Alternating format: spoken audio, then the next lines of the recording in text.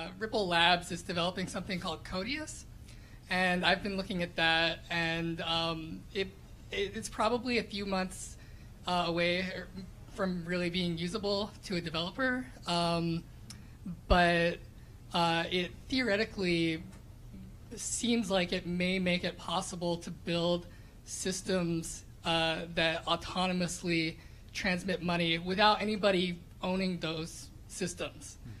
Um, I, does uh, basically, I guess, Chris, do you have any idea of maybe how that might be used, and maybe does anyone else have any comments on autonomous uh, money transmitting systems in the cloud in the ether?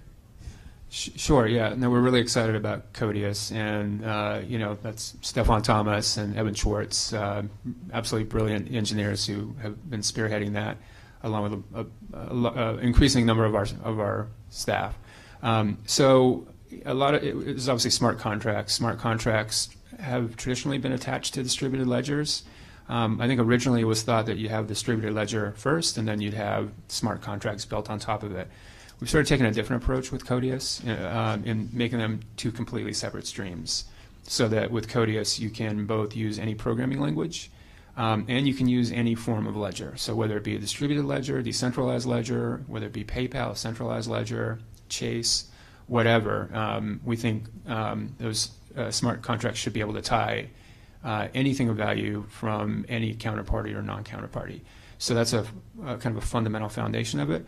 But what that should do then is allow, to your point, um, the idea of autonomous agents. So a good example would be, you know, today the only kind of autonomous agent that can exist is basically uh, a virus, which is uh, usually having to do bad things to support itself.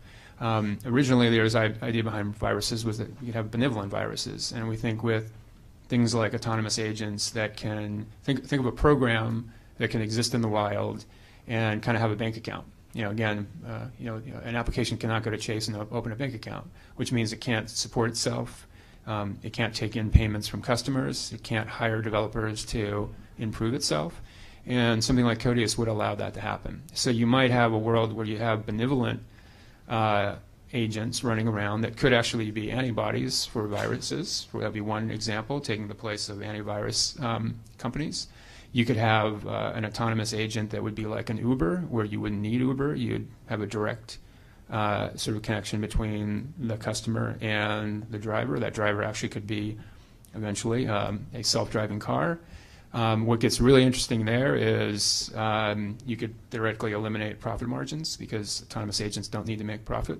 Um, so can, these things will have a lot of, uh, in, you know, obviously this is in the future a bit, but you know, this is this is real now. Uh, you can do this all uh, very today, and you'll see a lot of new tools coming out.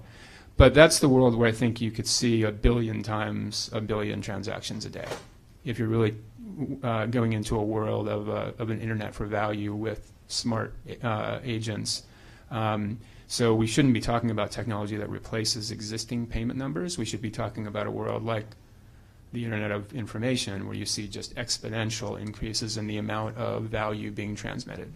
It's a very interesting thing. Um, banks have been doing things called letters of credit for hundreds of years, but the technology has not been there to bring it down to what Airbnb needs or balance payment does, right? So I think Codius is part of uh, an effort that can bring it down to the micro level and can do real-time settlement based on conditional conditions that are set by hopefully human beings right? So.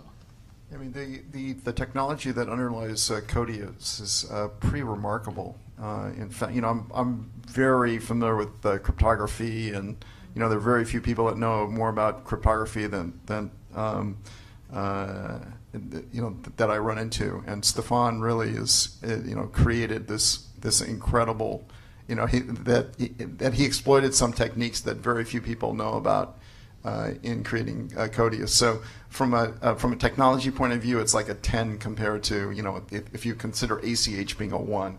I mean, it's like so far advanced. Um, so I mean, it's it's really remarkable in terms of you know what you can do with it and the underlying technology that it's built upon. It's really you know tour de force.